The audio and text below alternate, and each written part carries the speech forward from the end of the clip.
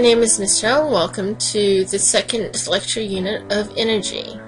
The objective today is that students know the unique features of a plant cell, overview of photosynthesis and components of a chloroplast. Here we have a picture of chloroplast that can be seen of an Elodea cell taken with iPhone 4S uh, by one of my students through a compound light microscope at 400x magnification.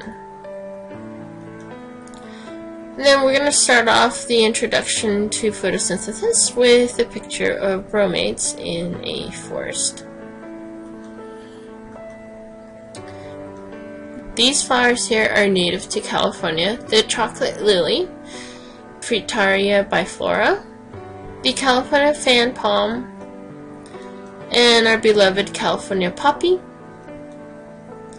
the Echeveria, which lies in the succulent plant family, and the lovely lupin. So what do these plants have in common? Like, well, yeah, they're plants. Not only they are plants, but they contain specifically plant cells, in which we are focusing on today. So let's compare the difference between a plant cell and an animal cell. As you can recall, there are many components to an animal cell. Yet, what is unique to an animal cell? There are two components that are unique to an animal cell that are not found in plant cells. Give you a few seconds, see if you can find them.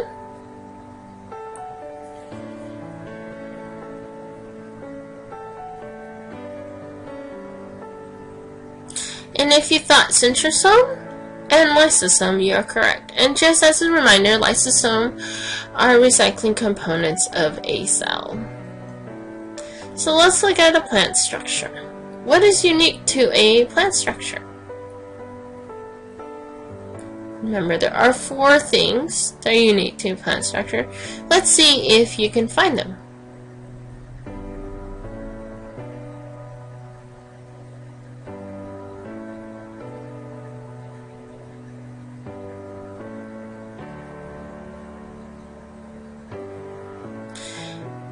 Let's start with the obvious. The chloroplast.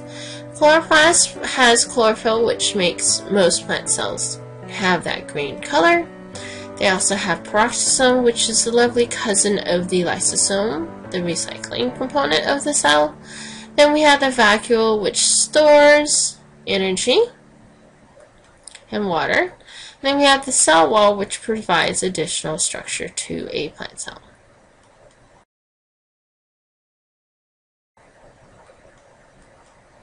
Plant cells. A plant cell, whether they not have and have, as a quick review, it lacks lysosomes and centrioles. It also has chloroplast, which makes food in a process called photosynthesis, which we will talk about later on. Peroxisome, very similar to lysosome, which they will digest unwanted components or mutated components of a cell. The large central vacuole is acts like a storage place for the food, which is glucose and water of a cell. The last thing, but not least, is the cell wall, and the cell wall provides additional structural support. This is why in a hypotonic solution, a plant cell does not burst. It will keep its structure because of the cell wall and become turgid. Introduction to photosynthesis. In general, the photosynthesis is you take sunlight with carbon dioxide and water and you get oxygen and glucose. So the photosynthesis is a complex chemical process of changing sunlight into glucose. So how does the leaf absorb sunlight? You think, oh, white sunlight, yes. No, sunlight is actually a combination of multiple colors. It has multiple wavelengths, red, uh, yellow, green, blue, and violet. Roy Biv, if you think of it that way, back into physics. To take white light, and if you take it to a certain material and material and refract it, you'll be able to see the different wavelengths that composes the let's look at this apple here. How do we know that this apple is red? Well, the obvious answer, the conventional way of thinking, is because we can see that it is red. The unconventional way of thinking is that uh, we see the color red is because it's reflected. The apple itself will absorb the colors of all the other colors in the spectrum and reflect back the color of red, and that is why we see the color red in apples.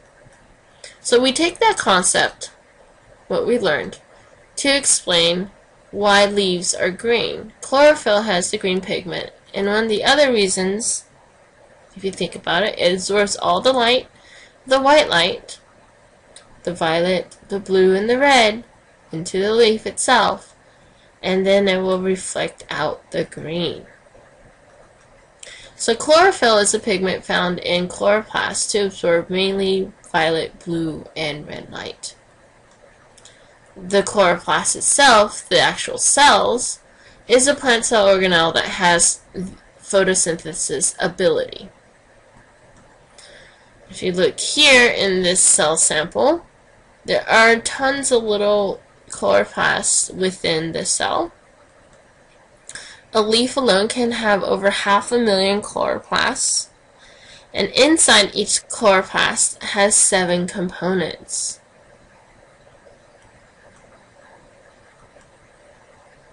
Just so you won't forget the other components to a plant cell that you won't forget the function of each one, Remember, in addition to the parts of an animal cell, the plant cell has a cell wall, a vacuole, the grana, the thylakoid, the stroma, and the plasmodesmata. The plasmodesmata are uh, areas, a window in which liquids can pass through in between the cell walls.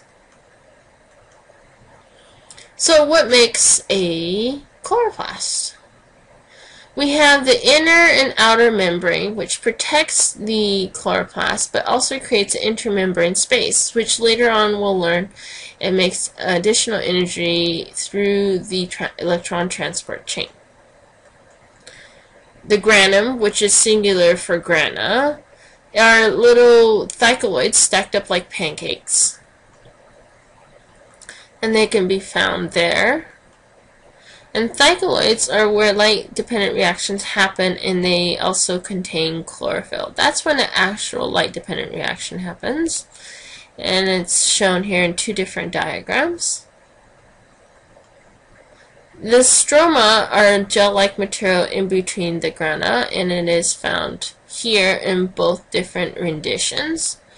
And also in the lower right hand corner you will see the cross-sectional picture of electron microscope of a chloroplast.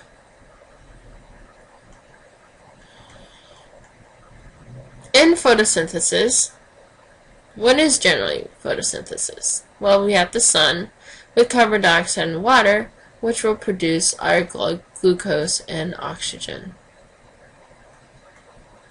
It is one of the most important chemical processes on Earth. Without photosynthesis, we would not have almost 30% of our atmosphere in diatom form of oxygen, and that most animals that are heterotrophic would not benefit or survive very long without it. Well, in a chemical reaction, it takes about six molecules of carbon dioxide, six molecules of water, when going through photosynthesis, you have one molecule of glucose and six uh, diatom molecules of oxygen.